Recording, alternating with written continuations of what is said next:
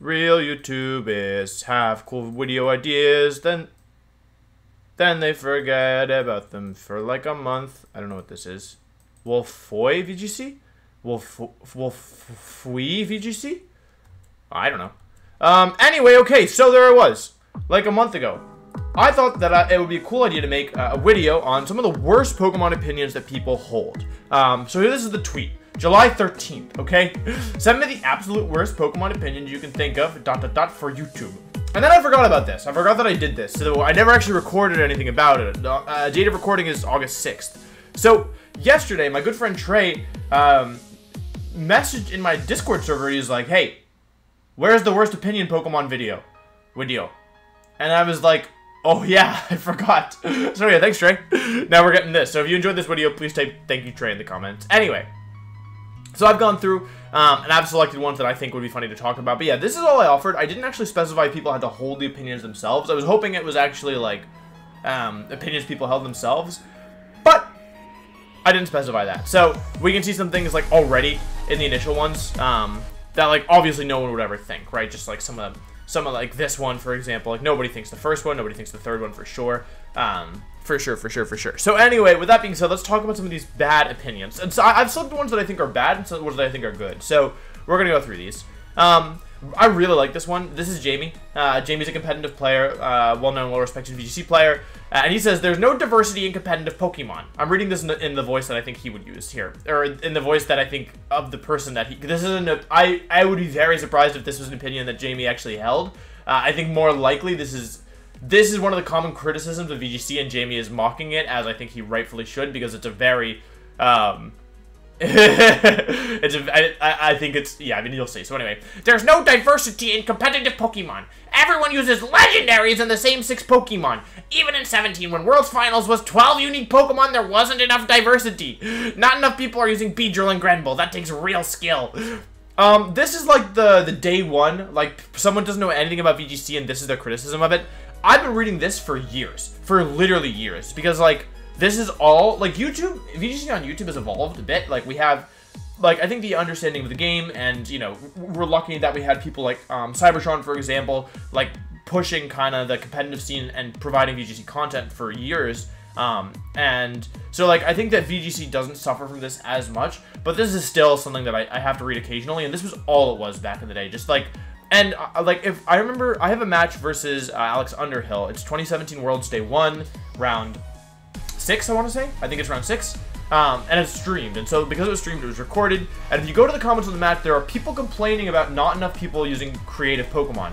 And there are 12 unique Pokemon in that set. Alex and I, uh, a full six Pokemon unique from each other. And people are still complaining about how there isn't enough diversity in Pokemon. So I think that it's kind of just this narrative that exists without really a basis. This is one of my least favorite opinions because number one, even if people did use the same Pokemon, like, think about what you're actually saying, right? just just please use your brain for 10 seconds. Let's say everyone actually used the same six Pokemon, right? Then it would be relatively easy to build a counter team, and then you could win tournaments, which means there's no incentive for everyone to play the same thing, right? That's how Pokemon works. That's how that's why Pokemon like Exeggutor and Pachirisu and, um, you know archetypes like Kyogre are able to thrive because when metagames are more centralized or when you know metagames favor certain things. I wouldn't say 2014 was centralized to be fair. So Pachirisu might not be a great example, but like in each metagame, there are there are there are specific niches that Pokemon can fill. So, you know, even if everyone did use the same Pokemon, it, the metagame would shift in such a way that it would counter those Pokemon, right? Because if I said, okay, everyone has to use this team of six or 12, uh, six of these 12 Pokemon, people would just counter that. And then they'd win tournaments. And then people would use the counter teams, right? And, and, and people would be less incentivized to use the team that was popular. Just think for 10 seconds before you post. Just think, please. Holy cow! Um, and that's not even talking about how it's not fair to say everyone uses the same six Pokemon because the EVs, the moves, the itemization, how the spreads interact with each other, how the speeds interact with each other, especially, all those things are very crucial and function like change how a Pokemon plays. Ray Rizzo changed the meta, changed like, jeez, uh, like four, five metagames with using defensive Thundurus instead of offensive Thundurus. It was a novel change, and it changed the game forever, just because he put defense EVs on his Thundurus instead of offense EVs. Like, that changed the game for four years or something. Insane. So, anyway, this is one of my least favorite opinions. Thank you, Jamie, for bringing it to light. Um, this is Paul. Paul's a VGC player who um, he was known uh, as pioneering the top ogre, um, which was a popular core back in 2010. I think I believe it was Scarf Kyogre, and then I think it was actually Technician Hitmontop. Um, but it was pretty strong as I recall, and uh, I, this is before I played. But yeah, basically VGC in its uh, in Gen 4 didn't have team preview. Um, there were it was very different back then. You could also switch around your items. So for example, like you had six items in your team, but where they went could change after each. I don't know if it was each best of three. I don't even know if they had best of three back then. I, am gonna be completely honest. Like I started in 11, so eight eight to 10 is um is interesting. But I think team I can't imagine playing VGC without team preview. Um, I think it would be a nightmare. Like imagine you're playing as your opponent, you have no idea what they have, uh, and then all of a sudden like their last Pokemon Shedinja, and you're like, oh well, I guess I lose then. Um, yeah. So I don't know. I think I think that's pretty uh, pretty bad personally. um, however, like I don't know. I, I, definitely could see how it'd be fun and, and I definitely could see how it be would be exciting. But like I also think it encourages strategies that are like like I think you're better off just bringing like you probably just have a set core of four, especially because it was best of one back then most of the time. So um, I think just having like a set core of four, where like it just you're just trying to cover everything, is more encouraged, and I, I personally don't think I would enjoy that. But I would be down to have like a no team preview tournament if that were something that was possible, like just to try it out and see what it feels like. But I personally don't like this one very much. I, I think I like team preview. Um, here's one from Chef. So Chef is a player that I met uh, at Berlin Internationals 2019. Um, very good player, uh, really nice guy. Um, and he says, no one who plays competitive Pokemon is actually that good at Pokemon. If millions of people started playing, every current VGC player would fade into obscurity very quickly, with a few exceptions, mainly me and Wolf VGC. Now, this is uh, an opinion I haven't heard very much, but this is something Marcus and I talked about back in the day, which is like, not necessarily in these terms, but just basically like, Pokemon's a really, really hard game, and, and I at least I feel, I don't want to speak for Marcus, but I know that I feel like the peak of Pokemon has not been reached, and there are certain players who make me feel like they, like they have like understood another level of the game. Like Vieira is one of them, the 2015 world champion. Whenever I watch him play, I'm like, it like takes me a little bit to figure out how he's even thinking, and when I do, I like I feel like I'm like looking through the matrix or something. So, um, I'll, I would don't know if I'd say you know, if millions of players start people started playing any game, which isn't um, well actually no, it's not true. If a million players started playing melee, Leffen would still be at the top, you know, Mango would still be at the top, right? Um, and that might just be a factor of, like, you know, Pokemon is a game with a lot of um, variance, and, and just being the better player than somebody doesn't really matter that much in terms of who's going to win the set. Um, in my opinion, these are just my opinions. Um, so yeah, I mean, I think this is probably true. Like, if a bunch of people started playing, I don't think that nobody would be at the top. Like, I don't think that, you know, I don't think that everyone would fade into obscurity, but I, I do feel like there is a, like, this game is a long ways to go in terms of reaching its, its uh, max. So, yeah, I don't hate this opinion. Uh, this is this is Trey. He's the one who reminded me of this uh, video. He said the ideal state of competitive play is two players endlessly switching because it is not optimal to consume PP. I'm not going to talk about consume PP um, here because yeah, uh, yep. But I mean, I don't think that this is like maybe there's probably situations where it is not optimal to consume PP. Um, but in general, doing damage is the main goal of Pokemon. So I think there's like I think that I feel like Marcus showed me this. I feel like somebody built a bot to like ladder in singles a while ago, and then like in Gen Seven maybe, or maybe it was Gen Eight, but I think it was Gen Seven, and like then it played against itself, like, and they saw what would happen, and I think it ended up in like a it just switched forever. I think somebody told me about this. I like watched the battle. It just like they kept switching forever, um, because it was like Gliscor, Amoonguss, or Gliscor plus Regenerator, and so like yeah, basically, like, it was three Pokemon that couldn't hit each other, and they just kept switching between them, both bots. So, um, and it, like, had Regenerator. So, yeah, I think, I think it, like, went to time. Or, like, Showdown has, like, a turn limit, I think. It was, like, 5,000 turns or something. So, in some situations, it might be optimal to not consume PP, but, um, in some situations, in most situations, I think consuming PP is optimal. Uh, yeah, optimal. Adrian says we need more Charizard formies. This one got a lot of interaction. um, yeah, I don't think we need more Charizard formies. I think we have plenty of Charizard formies. I don't need to talk that long about this one. Be my live or my... Okay, I'm recording. um, I don't think we have to talk that much about this one. Um, because... Yeah, it's like... I, I, I don't know. I don't think anybody... Like, even the comments here. Um, it's time to stop. well, here's some Charizard fans. um...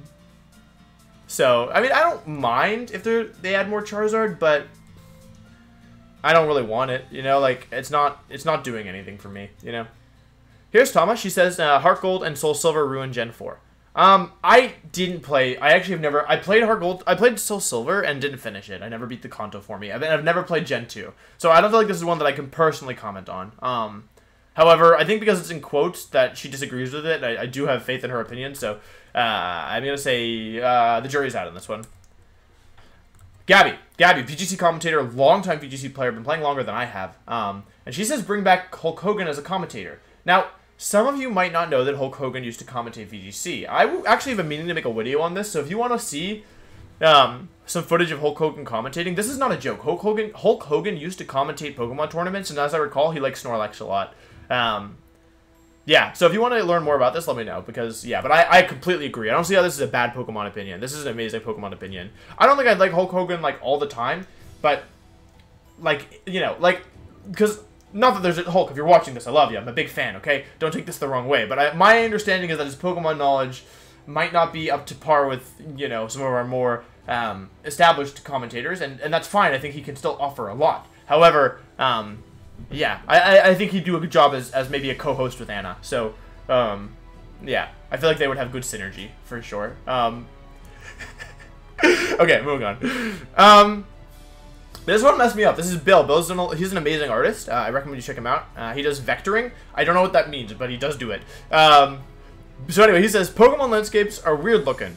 If Sudowoodo is supposed to look like a tree, then trees should look like Sudowoodos. This one messed me up because I was like, wait, he's right. Like, if you look, like, isn't that the lore? Like, Sudowoodo looks like a tree and you use watering can to, like, turn it into Sudowoodo. But then, like, why don't the trees, why don't any other trees look like Sudowoodo? I totally agree with this one. I, I like I this one I I thought about this one for a while after I read it. Um, L L says uh, I offered to tweet for people in the Discord and the Twitter, so I bring you this. Sorry, LOL. Uh, Zernon was a healthy and underused strategy that improved the metagame's enjoyment factor.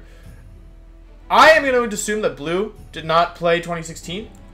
I'm to assume Blue didn't play 2019, I'll be honest. Um, Xerndon has been so incredibly dominant in e like every format that it existed in. Uh, like Xerndon, for those of you who don't know, was the primary restricted duo in 2016 and for the majority of 2019 as well.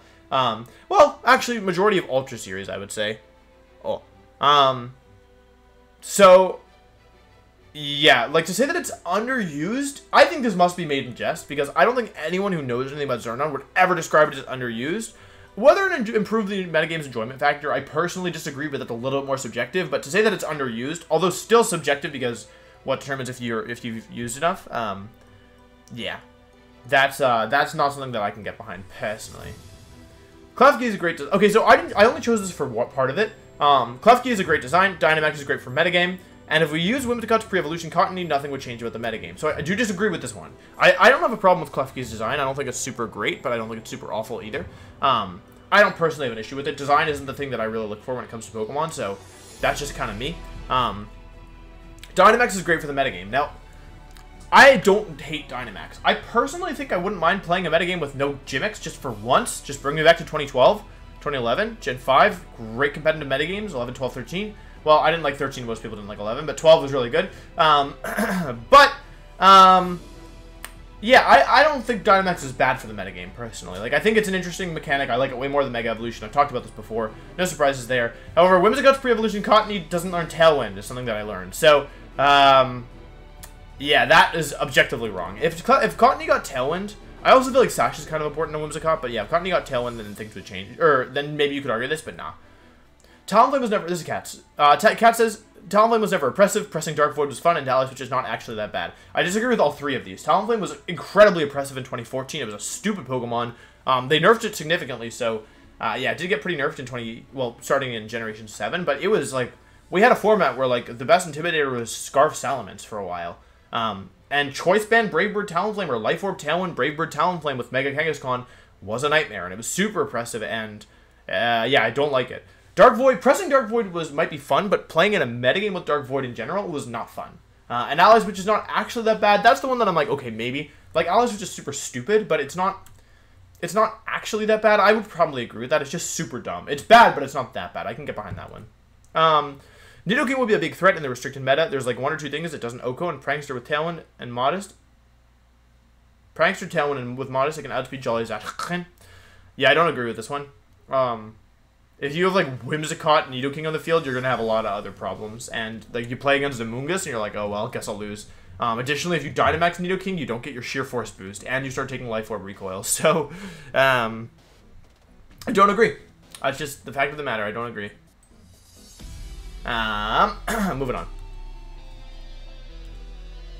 I like this opinion. It's stupid that Alolan Ninetales is part Fairy and Kantonian Ninetales isn't. Such a missed opportunity. It would be the only Fire Fairy type that we all need but don't deserve. I think this is a really cool opinion. I don't think Ninetales is that good of a Pokemon that giving it Fairy type would make it, like, broken, per se. It would definitely be a buff. Uh, like, it would definitely be a pretty big buff. However, I don't think that would be broken. Um, and I think would, I like I kind of like it. Like, right? Like, if, if Alolan Ninetales is Fairy, why isn't Kantonian Ninetales? Um, I understand that, like, you know, the whole point is that the Pokemon have different types, but I honestly think what happened is that they made Alolan Ninetales Gen 7 and made it Fairy type, and, like, they'd already introduced Fairy type in Gen 6, so they weren't going to go and retroactively change Ninetales. Um, however, yeah, like, it would be cool if, if was part Fairy. Um, 66 singles could never be the official competitive format because it's too slow and best of 3 wouldn't be possible. Also raise the stakes, 66 is much easier to get good at, although it's probably just as hard to be one of the best at. I agree with these opinions. Um, you could never play, this is why you can't play singles, right?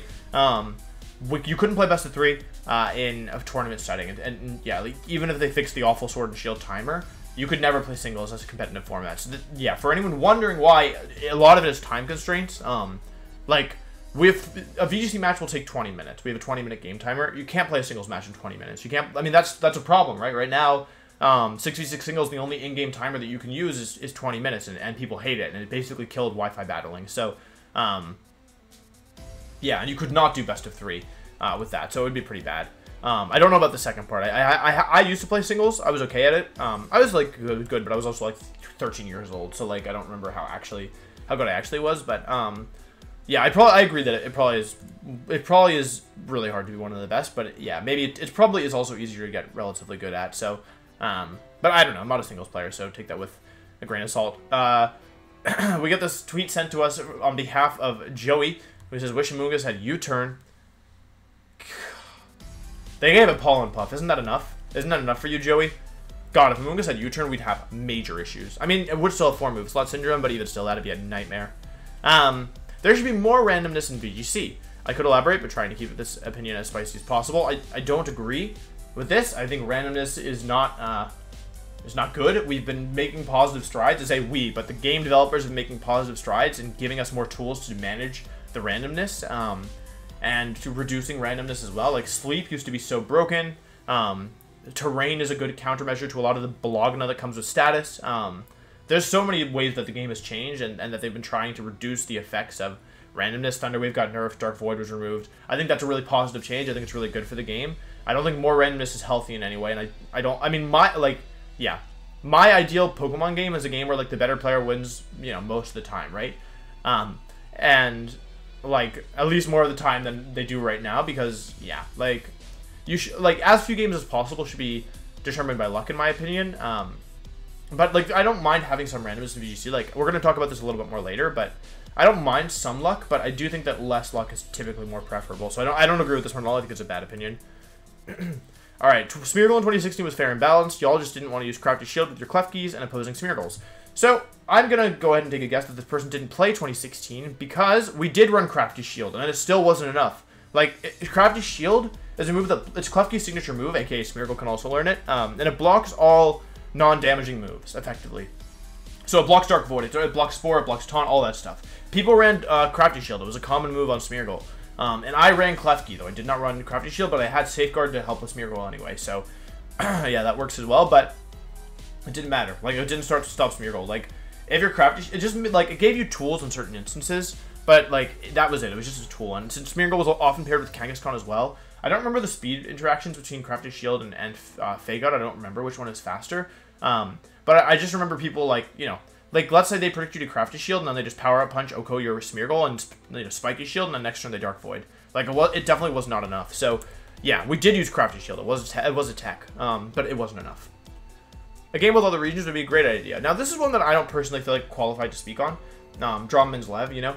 Um, but yeah, basically, like, I don't know. This, I think this would be sick. Like, if we had a huge Pokemon game, but um, there would be some major issues, like level scaling, right? Um, you know, uh, there would be a lot of like a lot, and I, I, I don't think the developers would ever do it. It sounds like it sounds like way too massive of a project, but I think it would be super super sick if, if it, uh, it ever existed. But yeah, probably not in the works. But yeah, apparently this is a bad opinion because I asked for bad opinions and this is what was said. So I, I this isn't something I'm holding my breath for. Like I'm fine never getting this, but I think it'd be cool in concept at least. I don't I don't know practically how good it would be, but apparently this is a bad opinion, so might be. Um, should have moved to triple battles. The thought you place your Pokemon in becomes far more important, adding an extra level of skill to the gameplay. This is atrocious. I don't know much about triple battles, but they suck. They're awful. I believe like the Pokemon on the left can't target the Pokemon on the right. Um, so like for example, like your I don't I don't remember exactly how it works. I just know they're a freaking nightmare. Like I, these are so bad. Like triple battles are not. They're they're fun. They're fun, right? If you're playing like a for fun tournament or you're playing with friends for fun, play triple battles. Like it's cool. It's a cool concept. But in practice, horrible. So like in a tournament setting, very very bad. Like this is this would have been super bad. Awful opinion. Basically, the further back you go, the lamer the designs get. I'd rather have something more interesting than it's a cat with a dot or rock with face. Modern ones are so much more interesting and not just cartoon, animal plus element. Um, Huh. So basically, this is a cool one. I don't feel qualified to speak on design. Um, but uh, this is a kind of like a popular opinion, right? And I've seen this po- this uh, kind of this idea brought up before, where it's like, um, you know, people who complain about Pokemon like Klefki and Vanilluxe, like, you know, if those Pokemon come out first, people say people complain about Pokemon like Grimer and um, you know, Voltorb and Geodude and, and some of those like you know more uninspired Pokemon. I don't ever have a problem with the designs. Mm, I don't normally have a problem with designs. Um, because it's not the thing that I play Pokemon for. It's not something I particularly care about. Um, but I can definitely, I think this is a valid opinion, um, for sure. I, I don't know if I'd like, I don't know. I think like the Pokemon are iconic, right? And it's definitely like some nostalgia factor there. But um, yeah. So I don't know. I think it's an interesting opinion for sure. I'm not gonna call this awful for sure. There will never be a viable pure normal type. We've already talked about both Smeargle and Kangaskhan in this video. I think this must be someone trolling, but yeah, Porygon Z, Porygon 2. Like pure normal type is actually um, is actually a pretty good uh, typing. If the Pokemon it has, it's either like it's either like most of the time it's like a bulky Pokemon, but it, it can be offensive as well. There is in fact the right amount of water in Hoenn. Um, when water type should do super effective damage to steel type. Water's already pretty good. I don't agree with the second point, but I don't have an issue with the water in Hoenn. I don't think it's too much water, so yeah. Okay. Incineroar is one of the best designed Pokemon. I said normally I don't complain about design. For me, what I look for, how expressive, charming, and alive a Pokemon feel, while 3D models don't feel like they have that much life, Incineroar has one of the most expressive 3D models. And here's the kicker. He was my first starter, by the way, LOL. Yeah, I'm not going to agree with you on this one. Oh, no. This absolute... Like, there's... He opened his mouth. This isn't expressive. He opened his mouth. I could open my mouth if I wanted. I don't want to, so I won't do it. But I could open my mouth. Look at this. I'm Incineroar. No, not expressive. Not expressive at all. He crossed his arms and smiled. I don't I don't like it. Chimecho has more personality than this thing. I hate I hate Incineroar. Stupid mon. Um I think this is probably he was my first starter bias. Garber Garber one. Ultra Sun and the Moon were some of the best games. Almost all fire starters are lame due to them becoming human later on. Japanese Pokemon names are often much better than English ones. Incineroar shouldn't exist. 3D Pokemon is better than Pixel Pokemon. Game Freak hates ice types. Okay, let's go in reverse order. Game Freak does hate ice types. It, it, I wouldn't say they hate ice types. I would say they hate the ice typing. There are some good ice types that if ice was better typing would be phenomenal. Like Mamoswine, maybe even Weavile, Alolan Ninetales. All those Pokemon are like just at the cusp and are held back by their typing. Lapras. Um, but ice, ice as a overall type is not treated very well by Game Freak. Uh, 3D Pokemon is better than Pixel Pokemon. Hmm, depends what you're looking for. I don't. I'm not commenting on that one. I don't know. Incineroar shouldn't exist. I'd agree with that. Uh, Japanese Pokemon games are often much better than English ones. Don't really know. Don't know that many Japanese Pokemon names. Almost all fire starters are lame due to them becoming humanoid later on. Um, Charizard's not humanoid. Checkmate. Typhlosion isn't humanoid. Are you just talking about the firefighting ones? What's Delphox isn't humanoid. That's a fox. What's what's this one? Oh, Cinderace. Okay, yeah, that one's kind of human. Um, Oh, guys, did you ever realize that Cinderace is also a fire and fighting type because it gets high jump kick and Protean? Thonk. Um, Ultra Sun and Moon were some of the best games. Ultra Sun and Moon, honestly, like, were one of my, it might be my least favorite gaming, like, experience of all time. Not talking about tournament, but, like, just playing through a game. Absolutely miserable garbage games. Like, I, I had to beat them in order to unlock the Z Crystals. it was miserable. It was actually horrible. They're actually some of the worst games I've ever played in my entire life. I hate, and I think to be fair, it's because I had to play them, and also it's because they're just entire remakes of Sun and Moon. If I started with them, maybe I wouldn't have hated it, but it was not fun. Mega Evolution was a terrible mechanic that broke the game's balance, choosing to give power boost to fan favorite Pokemon that have always been good instead of ones in dire need of a boost. Tyranitar and Garchomp instead of Tauros or Magcargo, which evolves from Sugma. Um, yeah, like, uh, I agree with this opinion. Mega Evolution was a bad mechanic. I don't like it. It definitely didn't help the game's balance. It was a bit, a bit better in Gen 7, but in Gen 6 especially, it was awful, and I agree. Like, I mean, it's not like T-Tar Mega or Garchomp Mega were broken or anything, like, but Metagross and Ment would have been better examples, probably, but, like, um, yeah, like, I mean, so, it would have been cool if all the Megas were on bad Pokemon. I think that would have been cool, and if they weren't, like, super broken. Like, Kangaskhan and Mawile, they made them too strong, but um, yeah, like Pokemon like Tauros and Magcargo, you know, maybe those could have been cool. Um, and they did give a lot of bad Pokemon Megas, but we talked about this in the Mega Evolution tier list.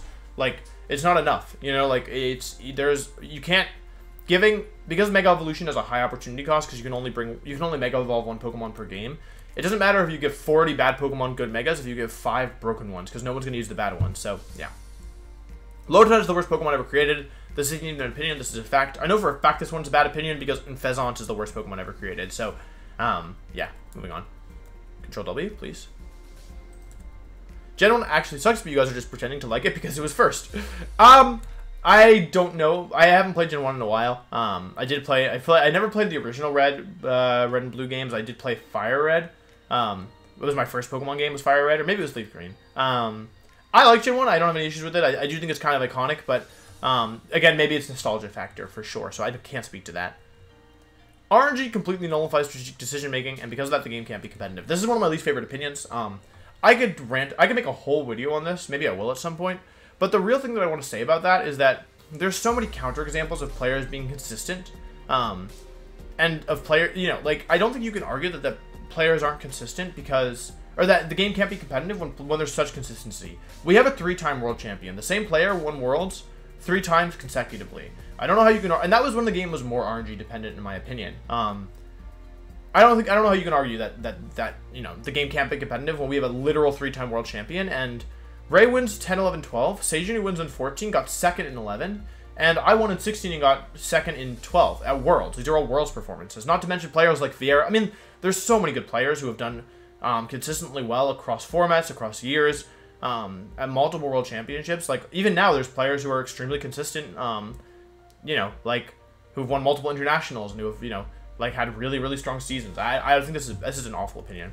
Um, but here's one that I really like. Whether you get lucky or not in Pokemon is skill based. I agree. There is luck in Pokemon, but managing that luck is one of the key factors. For example, if I run a team with like a bunch of inaccurate moves, I'm asking to, to lose games because I'm missing moves, you know? So that's just one basic example, but how you play and how you build your team depend like that will determine a lot how much variance goes for or against you. So, and certain teams are better at getting lucky, and certain teams are better at getting unlucky. Um, and that is a 100% a skill. Not every team gets the same amount of luck against it. Um, a team that always moves second is more likely to get flinched, frozen, um, you know, stuff like that. And so, yeah, I really like this opinion. So we're closing the, the video on this one. So, um, those are all the those are all the opinions that I had. Uh, I just went through the thread, picked out some ones that I thought were good. So uh, let me know if you like this kind of video. Um, it's certainly fun to do, and I like I don't know, it's just it's interesting to see what people think. So um, if you want to see more content like this, let me know down below. And um, I think that's all I have to say. Thanks for watching, and I'll see you next time. Goodbye.